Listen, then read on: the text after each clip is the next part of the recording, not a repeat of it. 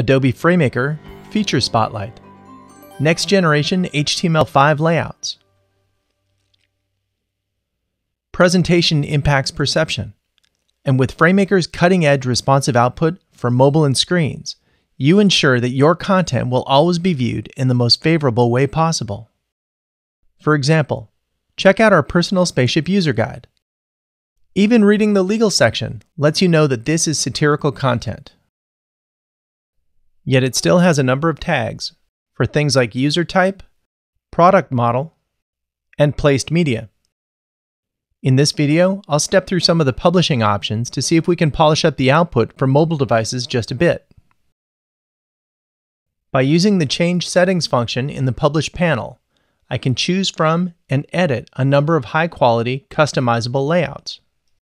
Azure Blue is already close to my corporate branding, so I'll let that choice remain. But within that layout, I can edit some of the options.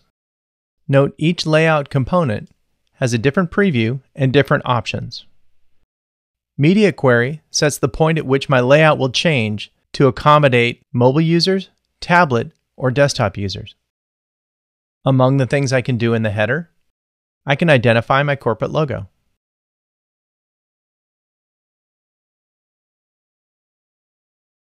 Since we added the logo to the header, we'll also use a similar graphic to show up in the tab within our browser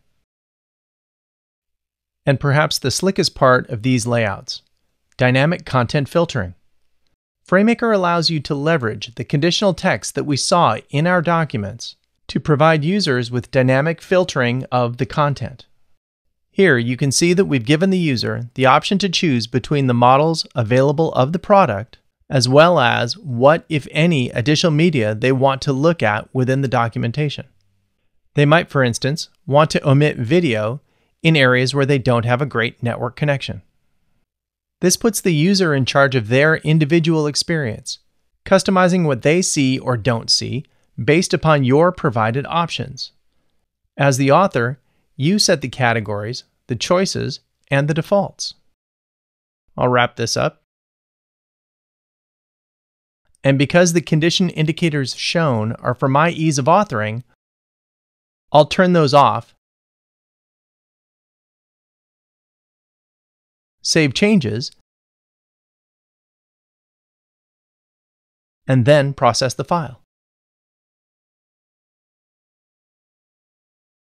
When I open my file in a browser, all the changes I made earlier are there, and the page itself reacts to the orientation, or more accurately, the width of the window in which I view it. When my window is roughly the size of a landscape tablet, you can see that my navigational controls go to where my thumbs would be on the screen. Likewise, when my screen is the approximate size of a phone, navigation controls are at the top and they're also collapsed to make it easier to get to the content when not needing to use the navigational control.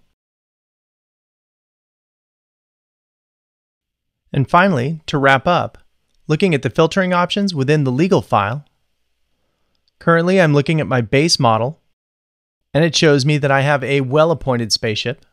However, if I switch to the luxury model, along with all the other changes that are made throughout my document, the phrase well appointed is replaced with luxuriously appointed. All in all, with responsive design, the ability to customize nearly everything in your layout, and the option to give your users dynamic content filtering, what you end up with is something pretty special it looks and acts more like a mobile app than a web page. For a personalized demo or questions, please write to us at techcom at adobe.com.